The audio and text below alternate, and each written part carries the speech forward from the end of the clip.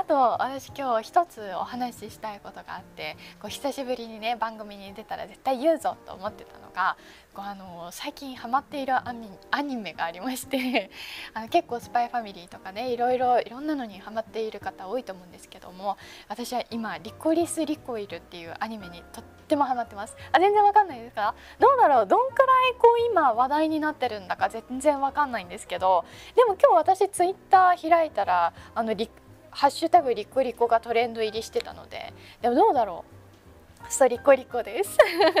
私が井上滝菜とかで調べてるからリコリコがトレンドとかで出てきたりするのかな。そう制服がめちゃめちゃ可愛いんですよ。もうとっても可愛くってちょっとね欅とかのアイドルとかにありそうなあの衣装っていうか制服なんですよ。そう可愛い。聞いたことないですか？あ意外と聞いたことないか。うん。知ってる？見て。どっち派？そうみんなにお聞きたい。どっち派？私は滝菜ちゃん派です。そう井上滝菜ちゃんとあの千里ちゃんっていう子がいるんですよ。ちょっとクールな子と元気活発な子がいるんですけども。私はもうか スタンさんが全然知らないのに「あいつね」とか言って乗ってきた。そう私は滝菜ちゃん派なんですよ。どうだろう？でも私はあの 姉あねでも私あんまりそうコスプレしたいって思ったことないんですけどもしあの高校生の時にリコリコ知ってたら高校自由だったんですよ服装。このワンピースで行ってもいいしスキニーとかで行ってもよかったので間違いなくリコリコの制服買ってリコリコの制服で行っちゃってましたね。もう今知ったね年代が違くて助かりましたけども完全にあのしかもリュックとかもあの似たやつ買って絶対あれで行っちゃってたと思います。えそれいいのでなんか滝菜ちゃん可愛すぎて私前髪今伸ばしてたんですけどこう切ろっかなってすごい深刻に悩んだくらい。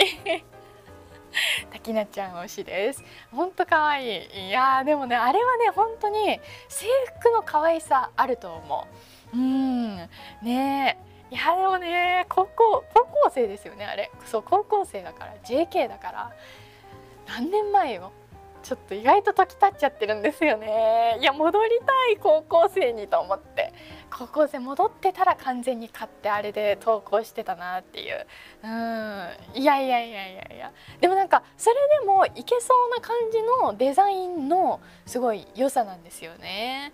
いやもう可愛くって本あのぜひどうだろう。キャスターさんの中でまだリコリコ見てるっていう話題にされてる方いらっしゃらないですかね。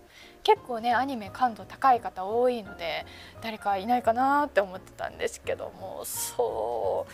ちょっとね最近も頭の中滝菜ちゃん一色です。それくらい可愛くって私はハマっております。さあということでねちょっと一つ 仲間いるかなと思って今日楽しみにしていました。よかったです。通じる方もねいらっしゃって。